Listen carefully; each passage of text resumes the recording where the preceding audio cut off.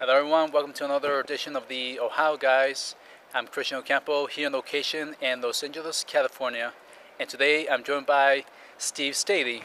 How you doing, Steve? Hi there, how everybody? How's it going? Right, good. Uh, so we have a few questions for you. Awesome. First of all, we want to know what's it like working in the industry today? Um, the truth is, it's the same as it ever was. Auditions and jobs, auditions and jobs. The way that it's different now, I don't know if you've gotten this answer from other people, is that as of uh, the early 2000s, when the digital revolution occurred and everything went from going on tape to being digital. So before our auditions were all always on tape or um, even mini disc or burned onto CDs. And, and then at a certain point, it just all went digital. So everything was emailed, and that's the biggest change. But as far as working in the industry today, the truth is acting is still acting. Shows are still shows, and storytelling is still storytelling. All right. Yeah, this kind kind of different from what other actors have said. So, yeah. Yeah, I'd be curious to see what other actors' impression of what's it like working in the business today. right on. All right. So, what's your favorite show you have worked on? Um, you know, that's hard to say because there are shows that are good because they're good shows, and then there's working, which is what it's like for me when I go to work, you know, the people that I'm hanging out with and who I get to see. In anime specifically, as you and everybody already knows, we're there alone. I don't really get to work with anybody else except me, the director, and the engineer. So it, a lot of it comes down to my interaction with the, the director. So, for example, a show from 2004, did we determine, Fighting Spirit? Yes. There's a great guy named Richard Epcar. You probably know Richard Epcar. He was the director of that show. And um, we had a huge number of lines to get through. I was playing Ippo and he was playing the coach, and so we, we had a ton of material every week. And he's a fun guy, and I can remember as grueling as that show could be because there was a lot of fighting and efforting, and there were a lot of line counts per episode. We always had a blast between me, Richard, and the engineer, joking, having fun, doing the lines, getting getting through it. Uh, so that show was fun for that reason. It's a fun show too, just because it's so earnest and, and sweet. Uh, but as far as shows that I thought were really cool, I've always said Heat Guy J was one of my favorite shows as a show because when I would watch it, it was cool. You know, I liked the show. That's a that's a good enough start. it is. All right. So another show we worked on that was that's kind of popular right now was like working on Kill la Kill. Right, that is popular, and when I got that part, um, everyone told me how popular it was going to be, which is always awesome. But you know, when you go to work, it's really always the same. You go into a studio, in general, a studio where you've worked a million times before, and your job is to act out the lines and um, communicate with the director, do a bunch of different takes, try a bunch of different versions, and see what's going to work based on what the director and the and the producer want. My job is to just keep interpreting according to what their wishes are. So Kill la Kill was fun. They took it really seriously and um, uh, went for some great stuff. I lucked out because I got to play such a crazy, out there character. You know, if you get to uh, play crazier characters, it's a little more delicious and fun to act out somebody who's kind of quirky and crazy than it is just to always play a young hero or whatever. So Kill la Kill was fun for that reason. And there was a lot going on in that show. Every every week was something different. Yeah. All right. Not sure worked on that you already mentioned. What was like working on Heat Guy J? Oh yeah, I did just mention Heat Guy J. And the truth is, at this point, that was a long time ago.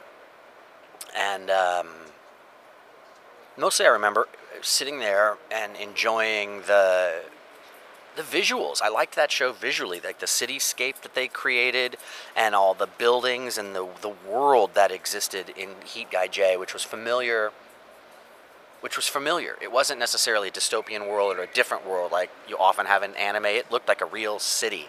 And it was fun for that reason at work because I enjoyed like watching it. It was the only time I really got to see it. I mean, it was on MTV2 for a while, and I watched a couple of episodes then. Uh, but mostly it was fun sitting there and um, taking in the, the visuals. It was also the first time that Christy Reed and I had ever worked together, and I, I remember it for that. Low these many years. I don't remember what year Heat Guy J was, but around 2005, right? 2006, Yeah, maybe. so- Oh, I'm done. I don't have anything else to say about that. I love that show. Heat Guy J. Check it out. In fact, I would like to revisit it myself to just to see it again after this many years. It's a good show. Yeah. Did you watch it? Yeah, I did. Yeah, it's cool. Yeah. Especially uh, Papenbrook. Yeah, it was. Was this Bob's final role I'm not sure who it was, but he did a great job as. as the as the J? Yes.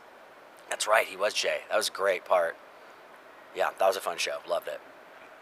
All right. So we have a little funny question we want to ask you. Okay. If you can be any character you have played in real life, who you be? And you can mix and match. Well, I'm gonna have to think about that. So hopefully you've got some good editing skills. Let me think. If I could be anyone, who would it be? I'm trying to think of anybody who had magical powers. Can you think of anyone who had magical powers? I thought your character from X. Uh, Oh yeah, he had some powers going going on, um, but they were pretty dark, weren't they? Yeah, they were.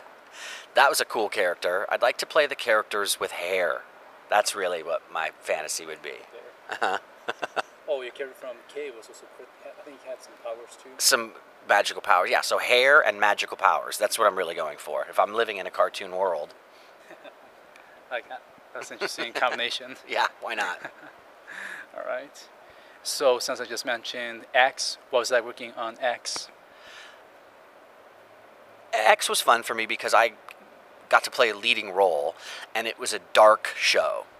So it didn't. It required a lot of brooding. It wasn't a lot of screaming and yelling. And you're gonna laugh that I remember that show specifically because I liked going into work because I knew that I was gonna have to do a lot less screaming and yelling than I would on any other show. And as you can imagine, at a certain point in voice acting, screaming and yelling gets tedious and tiresome. I mean, I get that it's part of the job. I, I, I'm happy to do it, but you know, you're protective of your voice. And I remember always thinking before recording sessions of X how happy I was that not only did I not have to scream and yell, but that everything was talking like this and really serious, and I didn't even have to speak above a whisper. It was awesome. And that was a long time ago at this point too. Yeah, I bet. So another sort of old show you worked on. What was like working on Fighting Spirit? Well, like I already said, that show was a lot of fun, mostly because unlike a lot of dubbing jobs, if we're speaking about anime or dubbing specifically, that they they are not hour intensive. Like I can play a part like Kill la Kill, but not have to actually go to work that many hours because we can do several episodes in a certain amount of time in a two-hour recording session, and so it's not like I'm there for 10 or 15 hours a week. But Fighting Spirit, I would sometimes be there 10 and 11 hours a week recording because each episode had a couple hundred lines in it, which is different from the usual when you might have 30 lines or 40 lines. But in Fighting Spirit, Ippo would have like 150 lines, 200 lines per show, and that takes a certain amount of time to get through that. So my experience of working on Fighting Spirit is memorable to me simply because we put in so much more hours on that show in the year that we worked on it. And uh, because of that, I remember it. It's a good show. Like I said, cute show, earnest, sweet. It wasn't about the world ending or weird interplanetary war. It was about a boy going from A to Z in his journey in um, athletics and boxing in particular. And it was a very sweet show. All right. So, is there anything else coming out that you can talk about, or anything you want to plug in at this time? Let me think about that. You're going to laugh, and this is so not a good answer, but I did a show last week, the name of which I cannot remember, but it uh, had a pretty. F- it was about people who can't die called Ajins. Does that mean anything to you? No, can't say that. You can't say that, or I'm not allowed to talk no, about I, it. No, I mean I never heard of that word before. Oh, because for all I know, I'm not allowed to talk about it, and here I am talking about it. Uh, and that had a really cool look to it, very realistic, kind of dark, again, dystopian. Um, I'm sorry, I don't remember the title. You got to understand when you're doing voice acting, more than the title, what's important is when the session is and where it where it is. When is it starting, and what uh, time do I have to be there, and where? So on a job like that, which was a cool show, it's the title of it is sort of irrelevant to my job. You know what I'm saying? All I have to do is make sure that I'm on time and that I say the lines the way the director wants me to say them. I bet after I work on that show a few more times, I'll remember the title. But for now, Ajin, and I bet that's enough for people to know what I'm talking about somewhere in the world. Uh, or get me sued because I wasn't supposed to say anything about it, but so be it. So last question, and we ask this to all the guests. All right. Any Facebook, Twitter, or any other social media for the fans to contact you? I'm on Facebook. Steve Staley has my picture. I guess if you um, know what I look like and you match that with Steve Staley on Facebook, you'll know that it's me. You can also tell by postings and stuff. Um, I do have Twitter at Staley Bud, but I don't really tweet that much. I'm more of a reader and follower on Twitter than I am a tweeter. In fact, I never tweet. Uh, and then I have an Instagram account, but I don't. It, that wouldn't be fun for anybody, and I don't even remember what my title is. But I have Facebook, Steve Staley. Well, we want to thank you for joining me for an interview. Thank you. And we want to thank our fans for tuning in for another edition of the Ohio Guys. And we hope to all see you again next time. I'm Christian, I'm Steve. and we'll see you next time. Bye bye. Bye.